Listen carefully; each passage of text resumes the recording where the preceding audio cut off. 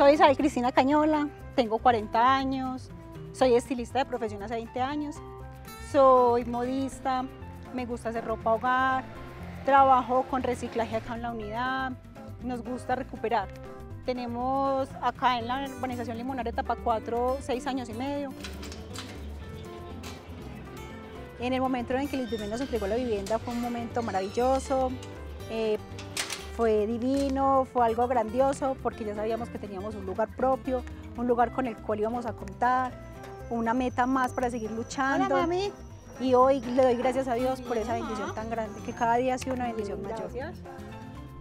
El hecho de tener vivienda propia nos abre muchas puertas, porque tenemos la oportunidad de seguir adelante. Tenemos un fin, tenemos un motivo por el cual seguir luchando.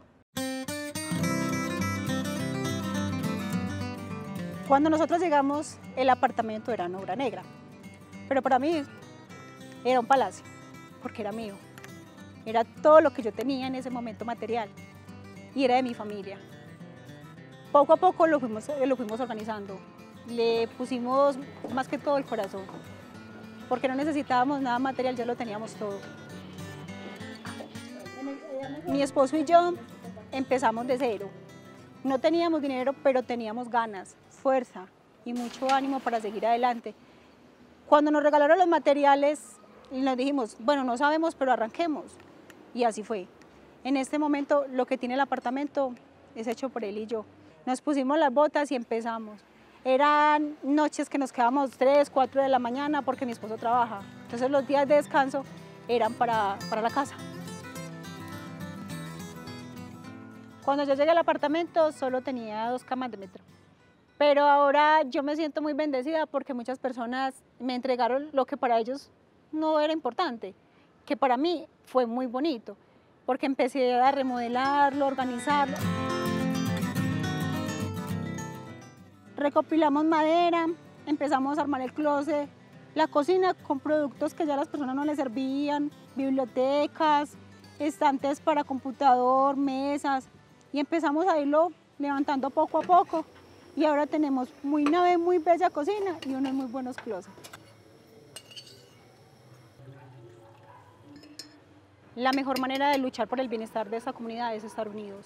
Yo siempre he dicho que la unión hace la fuerza. Si todos estamos unidos y trabajamos por un bien común, vamos a salir adelante.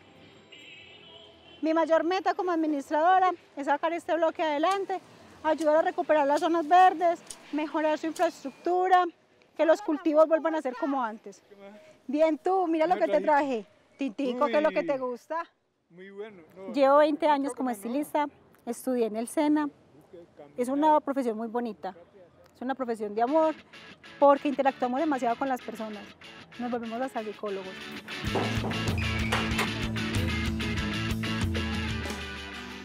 La acogida fue muy buena, porque por acá en el sector no habían servicios de peluquería.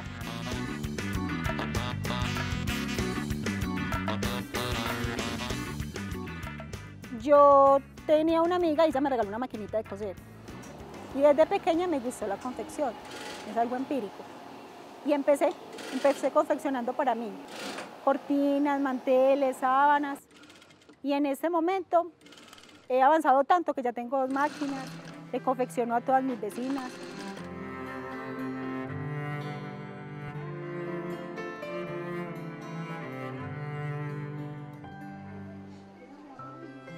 Mi casa es un lugar donde nacen los sueños, porque cada día tengo un sueño diferente, una meta, un logro cumplido. Cada que yo te- obtengo una meta, es una bendición más. Es un momento para decir gracias a Dios, es, es un momento para decir sí, cumplí mi sueño. Pero ¿cómo lo he cumplido? Gracias a Dios y a mi vivienda. Porque me ha dado la oportunidad de salir adelante, me ha dado la oportunidad de surgir, de estar viviendo en una casa de tablas a pasar a una casa de material. Estoy muy agradecida con el IPIME porque tuve muchos tropiezos para estar acá y ellos siempre me buscaron una solución. Hoy estoy aquí gracias a ellos.